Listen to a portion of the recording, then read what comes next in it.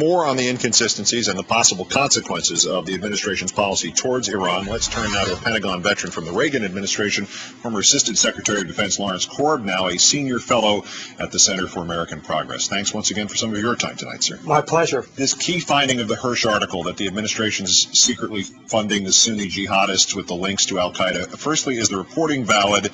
And secondly, if so, does that not have Iran Contra the sequel stamped all over it?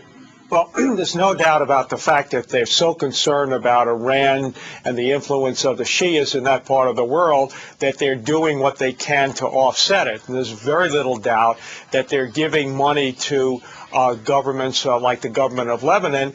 And as we know from what happened in Iraq, once you start giving money, you can't control where it ends up. And so what's happened is they're turning a blind eye to some of the Sunni groups that are associated with our friends in there, the government of Lebanon, the government of Saudi Arabia what is what is next to try to find out what's happened here? I mean, do we have to have congressional investigations into this? It would seem to be so um, counter everything that's been done in this country for the last five years to be even in the same large photograph with people who have links to Al Qaeda on uh, theoretic, theoretically on our side.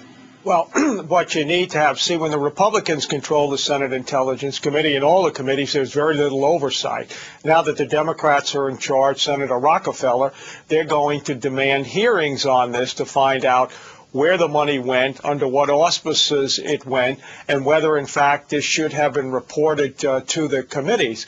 I mean, you're not allowed to just transfer money around willy-nilly without letting the uh, the intelligence committees know what you, what you, what you're up to.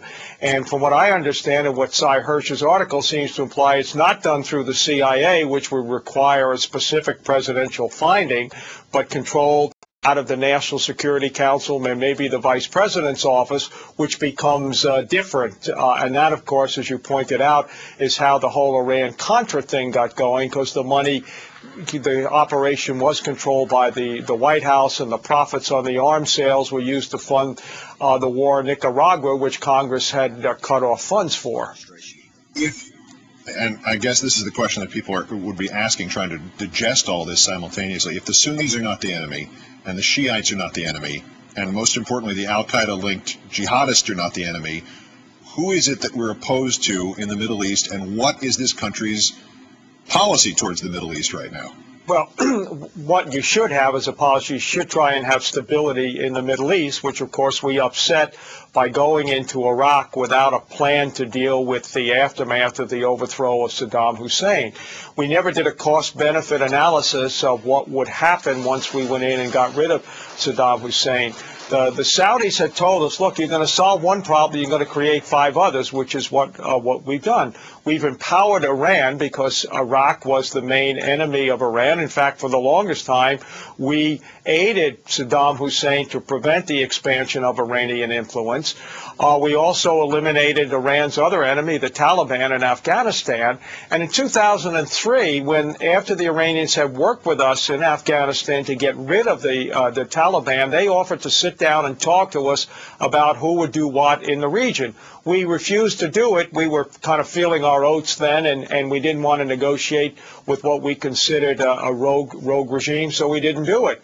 Now here we are, you know, almost four years later, and we said, well, we don't want to negotiate with the Iranians because we would be in a position of weakness. Uh, uh, and even Henry Kissinger said today, you know, you can't just have a military surge; you need a diplomatic surge, and we really need to get all of the countries in the region involved, or this thing's going to spin out of control.